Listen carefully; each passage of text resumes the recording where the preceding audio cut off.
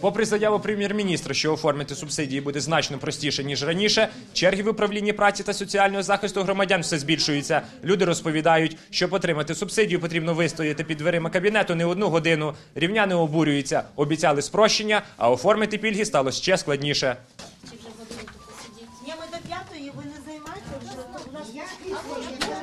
Вже жива черга. Я прийшла і вже сижу. Живіть черга. Список був зранку. Де він подівся, невідомо. Тому що мало людей, які опрацьовують, а наплив великий. А звідки ми Були жінки, які кажуть, що вони три дні ходили сюди. Ще вчора ці люди почули від урядовців, що оформити субсидію стало легко і просто. Шоковані різким підняттям тарифів на комунальні послуги, вони ринулися здавати документи на отримання державної подачки. Не треба й стояти в черзі, не треба заповнювати декларацію на 90 питань. До людини додому прийшов конверт. В конверті всього-навсього на одну сторіночку простенька декларація. Ось вона.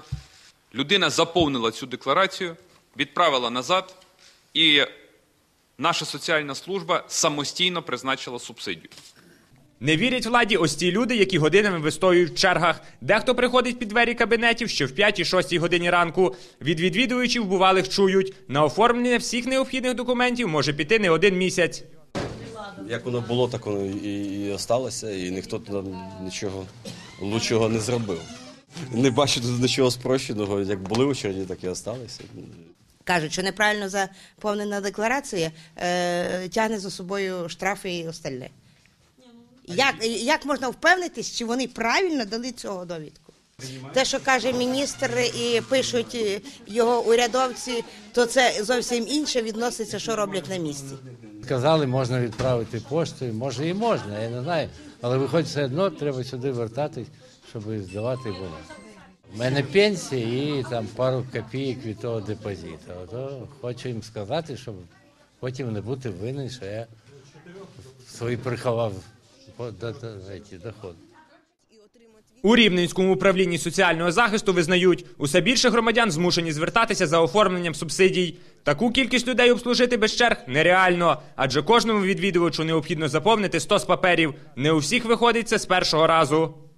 Потрібно вказувати, чи є лічильник е, на певні е, види, наприклад, послуг, там вода, газ.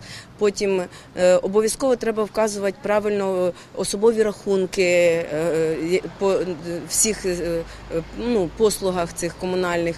Потім обов'язково потрібно вказувати правильно ідентифікаційні свої номера.